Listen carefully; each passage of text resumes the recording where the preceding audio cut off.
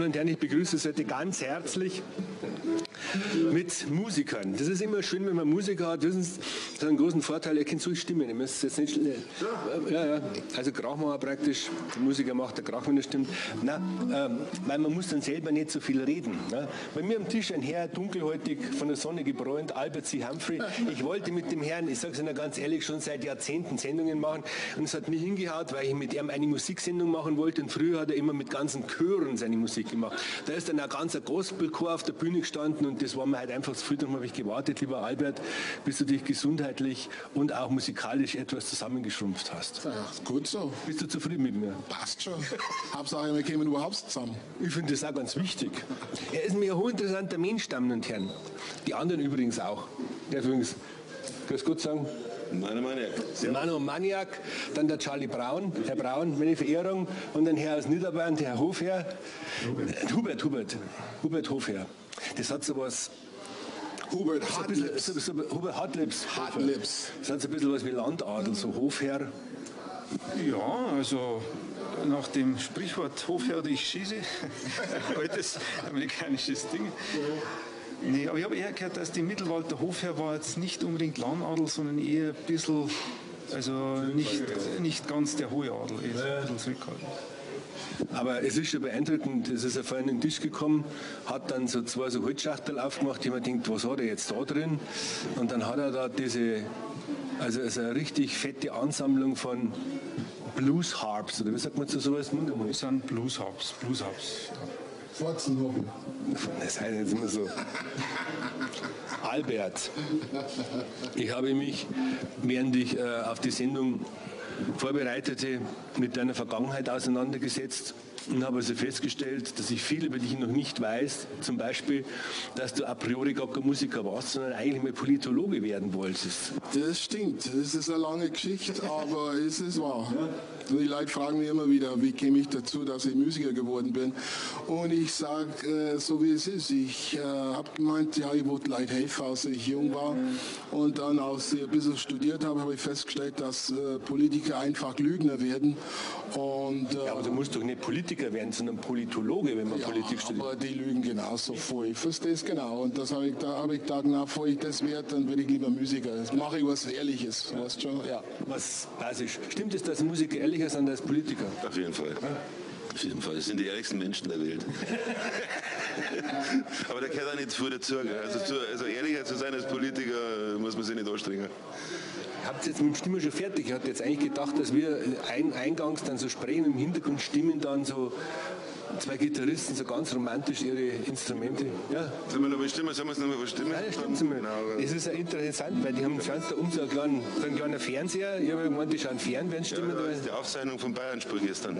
Weil das habe ich nicht anschauen können. Und das war, Wir Aufnahmen heute, deswegen haben wir die Kamera selber mitgebracht. Ich finde das ja hochinteressant.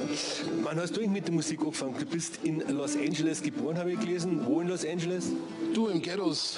Ein, Ghetto? Im Ghetto. Eine Ecke, das heißt Watts. Das ist eine der ärmsten Ecken von Amerika, wo die Punk abgeht.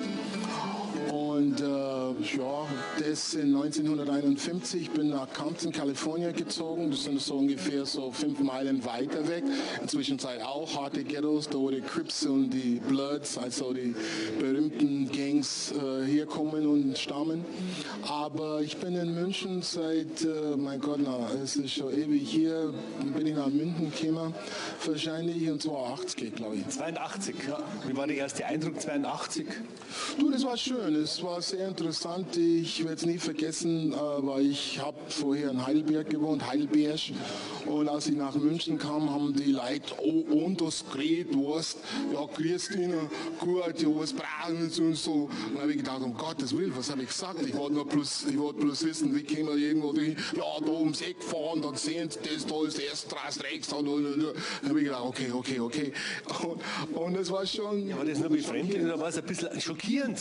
Ja, weil Wir ich Mag sind doch total nette, Ja, ja, aber die höfliche, hilfsbereite Menschen. Klar, klar, aber von Heidelberg, von Schwäbisch oder bis auf Bayerisch, da ist schon ganz sind anders. jetzt sehr verinnerlicht, die Heidelberger. Das ist ein Mensch, der kleinschichtig, der so bescheiden, Genau. wenn es langsam ums Geld geht. Ne? Genau, und die reden nicht so laut ne? und nicht so krackert, so wie in Bayern heute. Aber äh, es ist, es ist schon schön, dort zu sein. Ich habe mich schon daran gewöhnt und versuche, ein angepasster Ausländer zu sein, so wie die anderen auch. Und äh, ja, Eigentlich passt du nach Bayern viel besser, weil in Bayern sind es vorwiegend Schwarze, das weiß man, ja, oder? du, der Roberto hat immer gesagt, die, wir Schwarzen müssen zusammenhalten. Und es gibt auch sogar einen Witz, wo ein Preis äh, nach Bayern kommt und der Bayern sagt, da ist ein Schwarzer lieber, irgendwie so, habe ich irgendwann mal gehört. Aber ist egal. Nee, es ist schon schön, da zu sein. Normal. Irgendwie bleicht man da dann nicht irgendwann mal aus, wenn man so lange unter Wolken lebt wie in Bayern. Ist jetzt das Wetter so und dann Äh, na, ich gehe mal alle Jahr wieder nach Hause, ich tanke auf, sonnenmäßig und so, und dann käme ich wieder. Und dann fährst nach L.A. und legst den Sonne, oder? Genau, du sagst es. Venice Beach. Dann wollen wir jetzt ein bisschen Blues hören. Suitcase full of blues. Wenn mal was ganz oben drauf ist. Walk with me. Hand me down. my walk. Darf ich mal was aussuchen? Du, ich äh, hab gedacht, Nein, okay. drei ist mein Glückzahl, also dann such doch das dritte Lied aus und dann passt es schon. Okay, dann suchen wir jetzt das dritte Lied aus. Was paying my dues to the blues? Genau. Das hat irgendwas mit Zahlen zu tun, meine Schulden an die Blues zahlen, oder? Genau, das heißt mein Zoll zahlen. Das heißt, jeder von uns muss irgendwas im Leben zahlen, damit man da sein kann. Und äh, Blues zahlen wir alle, weil jeder hat einen Blues. Okay, dann fangen Sie mal an. Ich finde ich find echt gut. Und ich schaue das jetzt mit dem Mikrofon da hinten, ob es am besten klingt. Du singst dazu. Ein bisschen. Okay, bitte meine Herren, Damen und Herren. I like to present you Alfred C. Humphrey and his Albert C. Hum Was heißt denn Sie eigentlich? Crazy. Crazy. Nein, Albert Charles. Albert Charles. Albert C. Humphreys, Plural, Humphreys, Roots of Blues. That's it. Bitteschön. I'm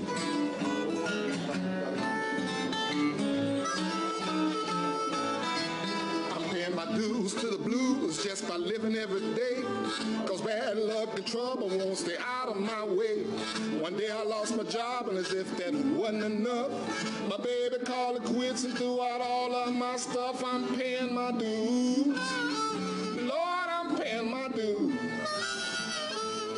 Everybody else got the good life, and I ain't got nothing but the blues. All right now.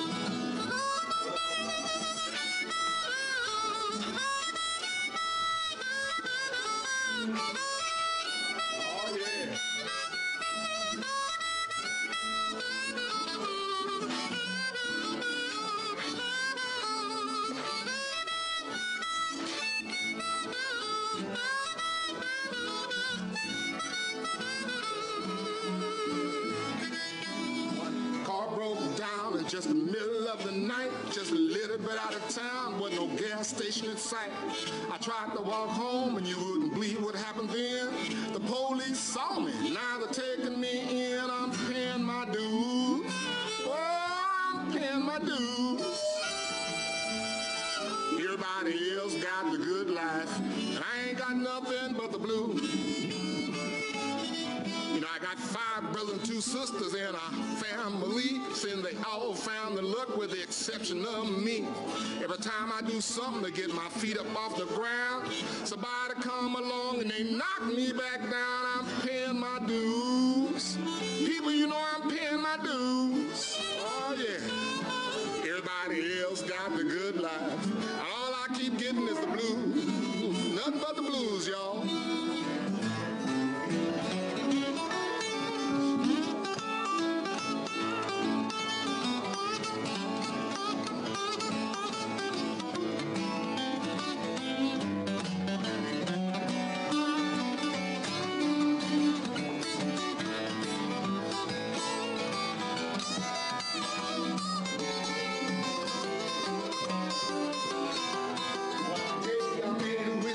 Saw a falling star, hoping luck would come my way.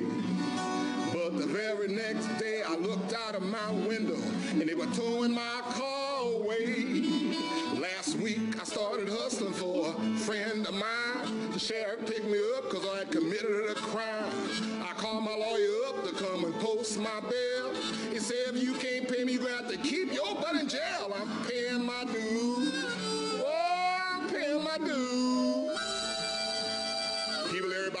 else got the good life. And all I keep getting is the blues.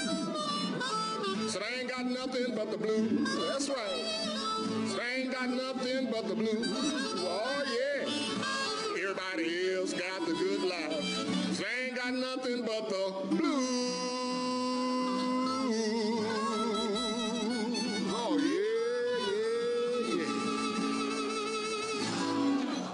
Albert Humphrey and his Roots of the Blues. So, Herr Hofer, jetzt sind wir dran. Also, er hat ja gerade schon ein bisschen vom Ge- Gefängnis und von so Unwägbarkeiten des amerikanischen Lebens gesungen.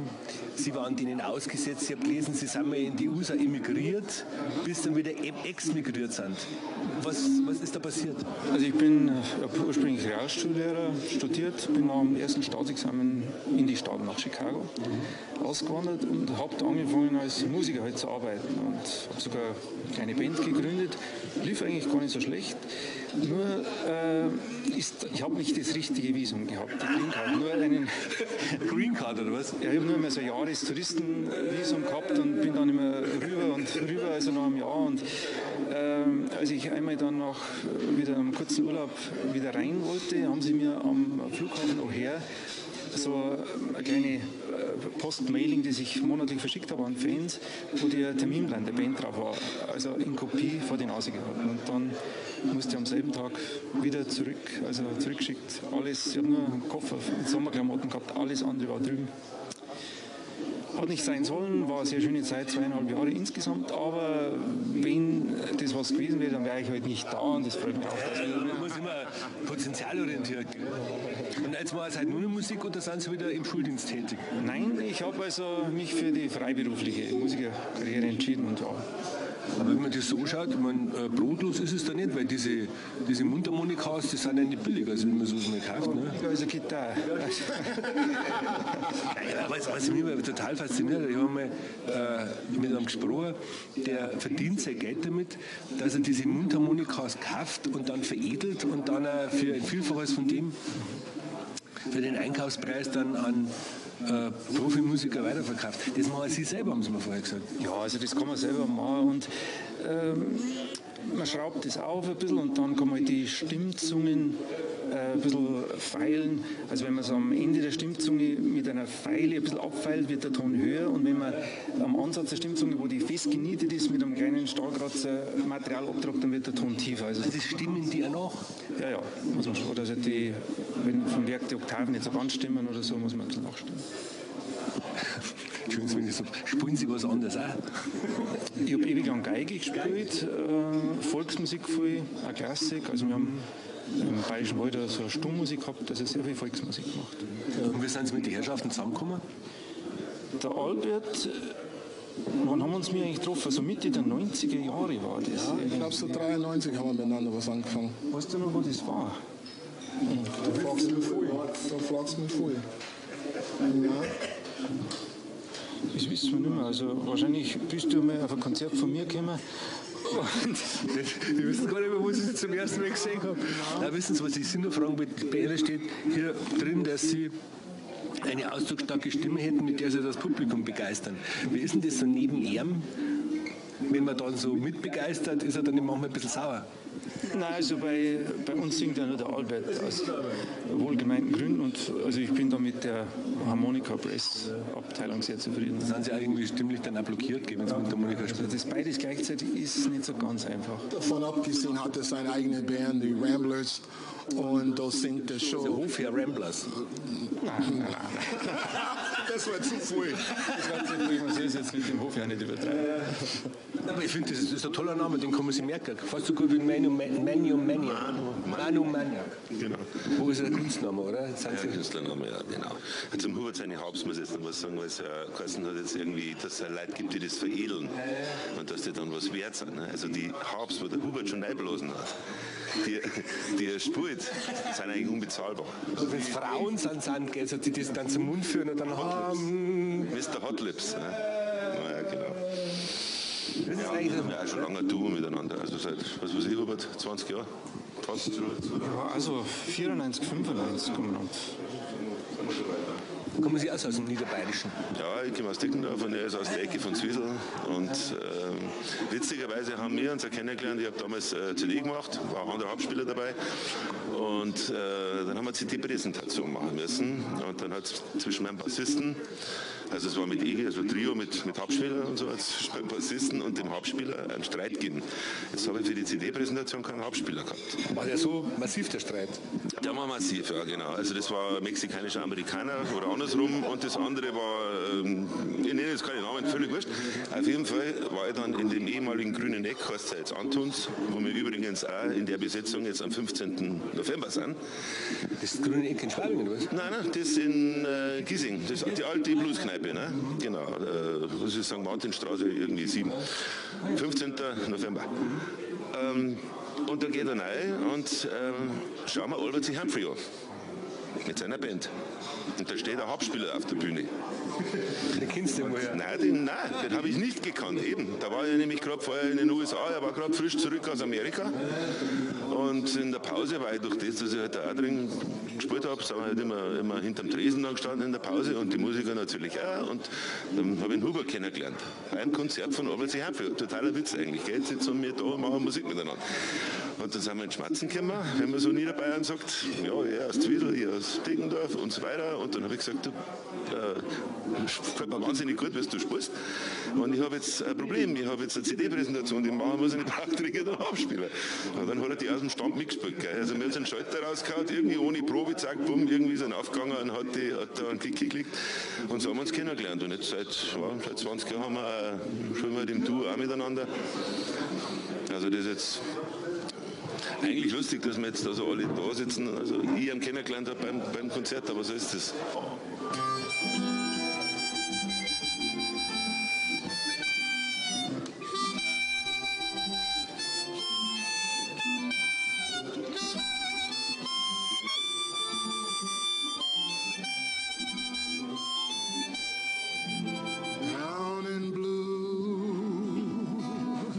That's how I feel since you said we were through. That's when my heart died, cause I still love you. Now I'm just down in blue. Down in blue. I'm all alone now, there's no more. Me and you Can't hide the pain, and I miss you too. Cause I'm so down in blue. What happened to that love that we once had? I thought it would never go away. Whatever it takes, I want you back again. And I'll do anything to make you stay. I'm down in blue. Life not the same, I can't do this without you. Just say you'll come back, I'll do what you want me to. Cause I'm so down in blue. Kannst ja richtig leise singen. richtig leise, nett, zurückhaltend, so kenne ich gar nicht. Ja, du, das ist ein, ein Samtenlied, das ist ein trauriges Lied. Äh, Niedergeschlagen und traurig. Blue. Genau, seit sie weg ist und so und so ist es ein, schon ein Blues, aber ein anderer Art von Blues. Das ist ja Wahnsinn. Wenn dann so ein Konzert ist, die Frauen müssten doch dir voll auf die Bühne klatschen, oder? Das ist ja Wahnsinn. Die wollen dich nur noch trösten, oder? Ja, natürlich. Du, ich, wir mussten fünf Leute beschäftigen und vor die, vor die Bühne stehen und die Weiber Das ist irre. von mir halten du, und von der Hubert. Damen und Herren. Seine Locken. Ja, ja, ja, ja, ja, ja, ja. Stell mir vor, wenn du nur Locken hättest, das war ja unerträglich. Und Herren, Jetzt möchte ich nur kurz mit dem Charlie sprechen. Charlie, äh, Ich habe da bei dir gelesen, du hast schon im Regan Club gespielt. Das war in die 90er Jahre, 90er Jahre das Urgestein des Rock'n'Roll, der Richard Regan. Das ist also sehr, Also- sehr nah an, an den Ursprüngen des Pop. Der Münchner Urrock'n'Roll eigentlich. Mit dem haben wir ganz was Lustiges erlebt. Und zwar hat der mal, es ist auch schon bestimmt 15 Jahre, da hat er im Wintergarten gespielt. Und da habe ich dort mal gedreht und hat sie neben mir am Biertisch einer rumgedreht und gesagt, Herr Griebel, fällt Ihnen eigentlich auf, dass Sie der einzige Mann hier sind, der graue Haare hat. Haben Sie auch mitgespielt? Das kann sein, im Wintergarten, ja. Und am Kursfürstenplatz in der Nähe. Ja, ja, da haben wir auch zwei, dreimal gespielt. Ja, ja, das kann schon sein. Füllt Ihr Leben eigentlich alles, Sie haben frei aus oder haben Sie dann noch Zeit für etwas anderes? Jetzt mental oder, oder emotional.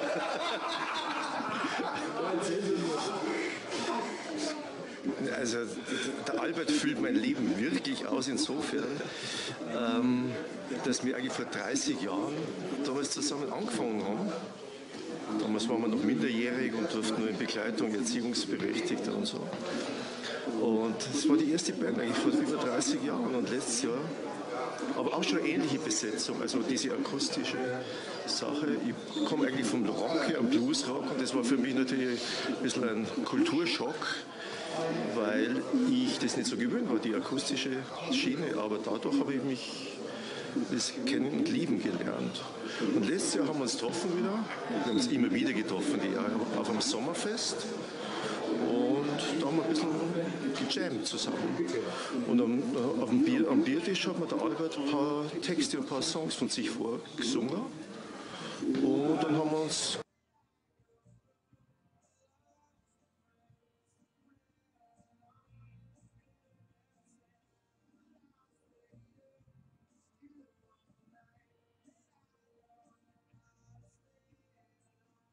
kurz später bei mir im Studio getroffen, haben ein paar Stücke geschrieben und die CD gemacht. Und so ist das entstanden. Und jetzt sind wir auf Tour und ich freue mich wieder. Es ist wirklich back to the roots im wahrsten Sinne des Wortes.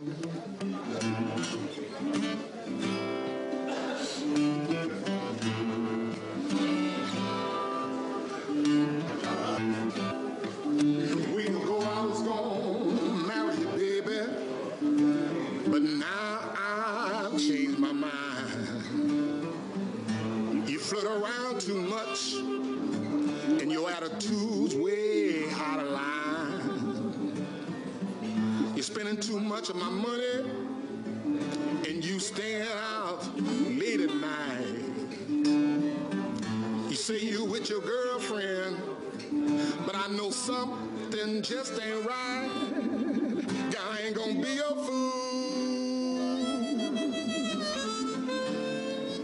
If you're looking for a fool, baby, it sure ain't me.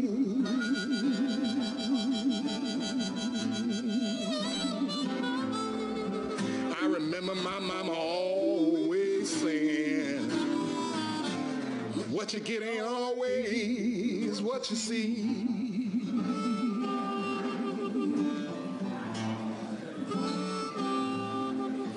Gal, you almost had me fooled with your beautiful big blue eyes. But now without your makeup on, I can see under your disguise. It's over, gal, you can pack your things and go. Said, oh yes, I still love you, but I ain't gonna marry you